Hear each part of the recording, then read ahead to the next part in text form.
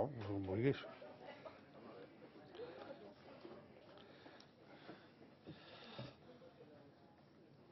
Bé, bona tarda. Tenim una tarda una mica típica en quant a l'ordre, però el grup socialista es va demanar si podien permutar i els van dir que no tenien cap problema. Jo el que voldria és, sense perjudici que vostès preguntaran altres coses, evidentment, referir-me a una qüestió arran de la compareixença que farà el conseller Puig el proper eh, dijous, que és eh, denunciar públicament la mentida i l'engany del conseller Puig, que eh, falsament està dient, avui és l'última vegada en què ho ha dit, que és l'Audiència Nacional, que és el jutjat d'instrucció de l'Audiència Nacional, qui va ordenar la detenció de determinades persones que estan mm, imputades en aquests moments pels incidents de bloquejar el Parlament en el seu dia i que es van presentar a la ciutat de la justícia. El conseller Puig diu que van ser detingudes per ordre del jutjat d'instrucció de l'Audiència Nacional. Estic en condicions d'afirmar que això és mentida. El jutjat d'instrucció de l'Audiència Nacional el jutge Eloi Velasco no va ordenar la detenció. El que va ordenar va ser que aquestes persones, o bé a ells o bé als seus advocats, se'ls comuniqués el fet de la citació perquè compareguessin davant de l'Audiència Nacional, cosa que el dia d'avui alguns d'ells ja n'han fet. Però en cap cas va ordenar la seva detenció. La detenció la, es va produir per ordre governativa i, per tant, la responsabilitat d'aquesta ordre li correspon al conseller Puig i la mentida i l'engany li corresponen al conseller Puig. I des d'aquí l'emplaço públicament i el desafio a que tregui i ensenyi el manament judicial o l'ordre judicial del jutjat d'instrucció de l'Audiència Nacional ordenant la detenció d'aquestes persones, perquè no existeix. D'aquesta manera, ja saben vostès que la sala de govern del Tribunal Superior de Justícia de Catalunya va acordar la setmana passada, per unanimitat, denunciar, condemnar la decisió dels, diu en castellà, mandos dels Mossos d'Esquadra d'irrompre en l'edifici judicial per detenir aquestes persones, que el comportament dels mandos responsables d'aquesta incalificable operació només pot entendre's des del més absolut menyspreu als drets individuals dels ciutadans i al respecte que mereixen els tribunals de justícia com a garants dels drets dels ciutadans. Responsabilitats que, per la seva extrema gravetat, deuen depurar-se. Que, a més, abans de desplegar l'operatiu judicial, segons la llei de judiciament criminal, articles 547 i 564, aquests mandos haurien de demanar l'autorització, haurien d'hagut demanar l'autorització a la magistrada jutgessa de Gana de Barcelona per entrar en un edifici judicial. Que aquesta actuació policial, continua la sala de govern del Tribunal Superior de Justícia de Catalunya, va ser manifestament desproporcionada i un clar abús de l'exercici de la força. I el que és més greu és que els sis detinguts s'havien posat a disposició del jutjat de guàrdia, esperaven la decisió judicial sobre la seva situació i que la detenció va ser absolutament innecessària per la pràctica de diligències policials o judicials. En el mateix sentit, s'ha pronunciat el Consell General del Poder Judicial la seva reunió de la permanent del dia d'avui, aquest matí, també per unanimitat, en la qual coincideix amb la sala de govern quan qualifica l'actuació dels mandos policials com a desproporcionada, menyspreus dels drets de les persones i del respecte que mereixen els tribunals de justícia. Aquesta ha estat una operació incalificable. Per tant, el que demana és el conseller Puig eh, confessi públicament que ha enganyat, que ha mentit, que posi el seu càrrec a disposició i que ell mateix es presenti en el jutjat a denunciar-se a ell mateix per a depurar les responsabilitats d'extrema gravetat que la sala de govern del Tribunal Superior de Justícia de Catalunya per unanimitat entenc que s'han produït amb aquestes actuacions.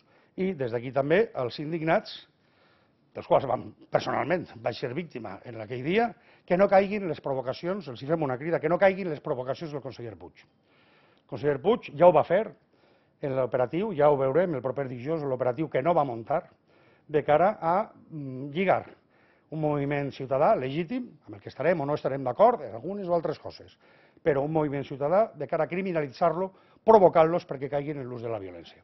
Això és el que continua fent ara i per això des d'aquí denunciem públicament l'engany, la mentida i l'actuació d'extrema gravetat i responsabilitat que ha de depurar-se.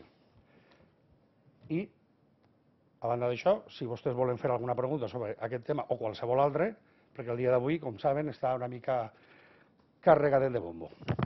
A mi m'agradaria saber com és que, aquí al fons, Sí, ah, perdó. Com és que no han assistit a la reunió extraordinària de la Comissió del Pacte Fiscal i quina opinió els mereix les decisions que s'han pres avui? És que no n'hi havia cap reunió extraordinària de la Comissió del Pacte Fiscal. Ja m'agrada perquè si no el senyor Rius també diria que fem campana. És que el senyor Puigcercós va enviar un e-mail el divendres convocant ell a una reunió aquest matí. No hi ha hagut cap reunió de comissió. És que el senyor Puigcercós ha convocat els presidents i els portaveus dels grups parlamentaris per a reunir-se amb ell. I nosaltres no li reconeixem al senyor Puigcercós cap autoritat per convocar a ningú. Com a mínim a nosaltres no. És a dir, que vostès no havien rebut res. Sí, sí, que ho havien rebut, sí. Sí, però de la mateixa manera que si rebem un e-mail de vostè dient convoco als presidents i als portaveus dels grups parlamentaris a que reunim el dimarts a Talón en tal sala per a parlar d'això. Bueno, pues, ell no és el president de la comissió i no era una reunió de la comissió. Per això no hem assistit, perquè ell no és ningú per convocar cap mena de reunió. Formal no ho era, perquè no és el president. I informal, doncs, si vol reunir-se informalment, doncs quedem un dia i prenem unes copes. I en tot cas, de, els resultats que hi ha hagut, eh, quina opinió li mereixen? Quins resultats hi ha hagut d'aquesta reunió Que informal? en principi no s'ajornarà a les Però conclusions. això no és la reunió, això ja ha anunciat el representant del govern, el senyor Oms, en la roda de premsa. En tot cas, El quina senyor Oms opinió en la roda de premsa el que ha dit és que, eh, que ella, donant ordres al Parlament, com habitualment fa aquest govern, que ara ja no se'n diuen dels millors, mirin vostès que ja no gosen dir-se dels millors. Doncs aquest govern, eh, ells donen ordres al Parlament i ja ell mateix ha dit el Parlament farà això, el Parlament farà l'altre. Bueno, doncs, pues que digui, que digui. La nostra posició és molt clara en aquesta matèria i nosaltres donarem o no suport a les conclusions en funció de que recullin tres coses. La primera, claredat. És a dir, que tots els impostos, taxes i cotitzacions socials, i no aquestes expressions genèriques que estan fent-se servir, tipus tributs, ara podríem parlar també de delmes, de primícies i de coses d'aquesta mena. Tècnicament, això s'anomena impostos, taxes, cotitzacions socials, no tributs. Doncs que tots els impostos, taxes i cotitzacions socials siguin recaptats, gestionats, liquidats, inspeccionats i amb plena capacitat normativa per la Generalitat de Catalunya. Segona, que això es sotmeti a referèndum. No farà en qüestió si en lloc de referèndum li volen anomenar consulta popular. I tercera, que tal com fa Navarra, aquesta decisió que prengui el Parlament de Catalunya i el poble de Catalunya es sotmeti a la decisió de les Corts Espanyoles o del govern espanyol perquè accepti o no. No perquè s'obri cap mena de procés de negociació i d'esmenes, tal com fa Navarra amb les seves lleis en el seu mejorament del fuero, que les Corts Espanyoles simplement voten sí o voten no. I tal com fa el País Basc, les, quatre, les tres províncies basques forals i, la, i Navarra respecte també al propi cupo, en el qual, com saben vostès, no està sotmès a esmenes per part del govern espanyol ni de les Corts Espanyoles, sinó simplement acceptació o refús. Aquestes són les nostres tres condicions. En el cas de que tirin endavant, li donarem suport, en el cas de que no, no. Però això no té res a veure amb les reunions informals que convoqui el senyor Puigcercós ni amb les instruccions que el senyor Oms li vulgui donar al Parlament de Catalunya. Si de cas li faran cas els del seu partit. Però clar, és que nosaltres no som d'Esquerra, ni de Convergència i Unió. És estrany, eh? però és que no ho som. Hi ha qui pensa que sí, però no, li asseguro que no, no ho som.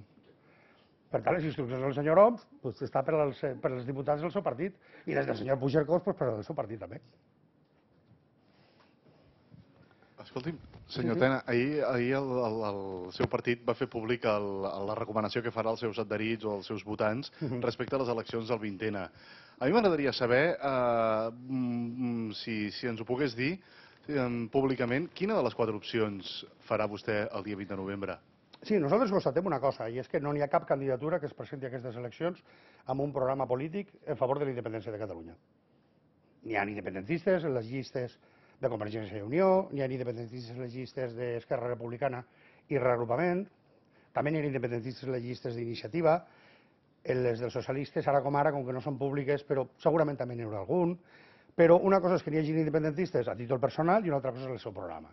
El programa, com vostè sap, que va ser el primer que ho va publicar, inclou eh, una sèrie de coses que estan molt bé, que podrien ser compartides perfectament pel senyor Duran i Lleida, com són la independència fiscal, governar les nostres infraestructures, defensar l'estat del benestar, defensar l'economia productiva i l'emprenedoria i fer del català el punt de trobada i el pont de, entre tots els catalans i catalanes. Bé, doncs nosaltres per això no vam arribar a un acord amb Esquerra Republicana perquè aquest és un programa autonomista. cosa molt legítima, però en fi, no és el nostre, no és el nostre objectiu.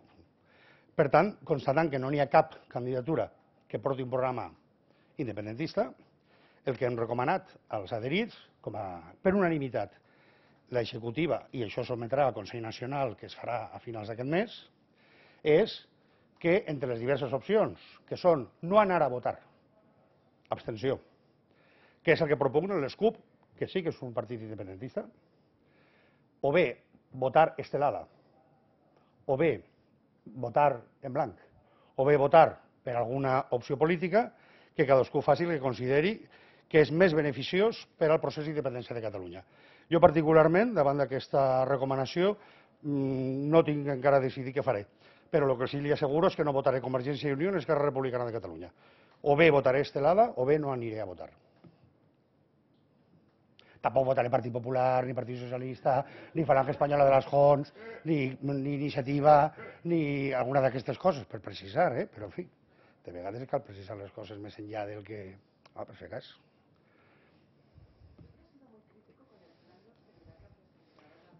¿Qué plan de austeridad? Doña Leonor, ¿me dice usted unas cosas?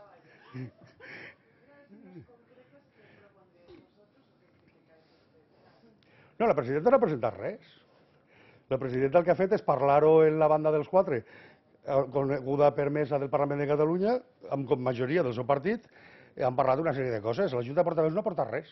El que ens ha dit és que en els pressupostos del Parlament de l'any que ve doncs vol fer una mena de ropero d'aquestos de Pitita Ridurejo i Cuquifierro a efectes de treure una paga extra i que els que tenen cotxe, que són ells, perquè li recordo que nosaltres i Ciutadans ja fa un any que vam renunciar al cotxe oficial, doncs pot ser en lloc de tenir set cotxes no tirar més que cinc. Ja està. I amenaçar alguns parlamentaris que pot ser tregui dinerets als grups parlamentaris, eh? perquè com els altres ja hi ha, hi ha altres que ja sap que vostè que es financien per via empreses, 3% i coses així, i per tant no necessiten els diners públics. Ja està, això és tot. Respecte al pla que nosaltres hem presentat, que li recordo que era eh, reduir en 6 milions d'euros la retribució dels diputats sobre la base de suprimir totes aquestes marranadetes que es fan aquí, el suplement lliure d'impostos per desplaçaments, que també cobren els consellers de la Generalitat que són diputats, inclús el president, 21.000, 29.000 euros l'any, el complement per ser president o secretari o vicepresident d'una mesa, o per ser portaveu en una comissió, o per ser portaveu algunes vegades clandestí, perquè jo encara no, no he conegut a ningú que em sàpiga dir quins són els set portaveus que té Convergència i Unió en aquest Parlament. Sabem que cobren 40.000 euros cadascun d'ells, però no sabem qui són. Doncs totes aquestes coses suprimides. I una cosa específica, i és que també es deixi sense efecte la contractació que ha fet la senyora de Gispert de la cunyada del seu fill com a assessora personal. A càrrec als diners públics, clar, si ho pagués de la seva butxaca com si vol contractar a la seva neboda de 3 anys, que si fa no fa l'assessorarà bé. Doncs aquest és el pla. Eh, hem plantejat que anaven a fer en aquest tema, ella ha contestat que no anaven a prendre en consideració aquestes propostes i específicament que respecte a la contractació de la cunyada del seu fill, que no era la meva decisió. Jo ja l'he aclarit, no, evidentment, però això demano a la mesa que ha fet. Ja no, és que no, no, ningú ha de dir res perquè això és una decisió meva personal. Vale, fantàstic. Pues que continuï, que carrega el diner públic a contractar nebots, cunyats... Esperem que la seva família no sigui gaire extensa, encara que al ser d'Unió i Democristiana molt em temo que pot ser una mica car per, per l'erari públic si hem de contractar tota la seva àmplia parentela, tenint en compte l'afició que tenen normalment els catòlics a reproduir-se. Perquè, com va dir el nostre senyor. Perquè, Creixeu i multipliqueu-vos. Perdoni, la presidenta no ha fet... Eh, a vostè li consta alguna valoració o alguna negativa mm. d'això que va publicar la premsa fa una setmana? De què? Sobre, sobre la, la contractació dels familiars. Ella no ho ha negat. No, no, no, no en absolut. No, no, jo l'he plantejat perquè era el document que nosaltres hem presentat a la Junta de Portaveus, que vostès, i la mesa, que vostès el tenen de la setmana passada, que havien decidit en la mesa, perquè l'ordre de dia de la Junta de Portaveus no hi era. Llavors ella és quan ha dit que no, que això ningú ha de dir res perquè és decisió seva. Però no ha negat que ho hagi fet. Per tant, Nosaltres sabem d'això perquè vostès ho van publicar. Ella no ha negat aquesta contractació i ha reivindicat el seu dret de contractar a qui consideri oportú perquè és una decisió eh, discrecional i basada en la confiança. Com se'n sol dir, la confiança ben entesa comença per un mateix i per la seva família.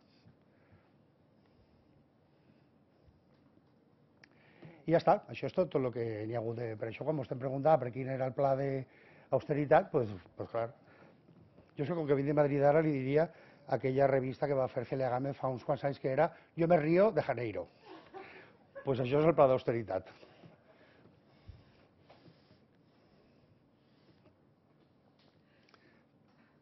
Alguna coseta més?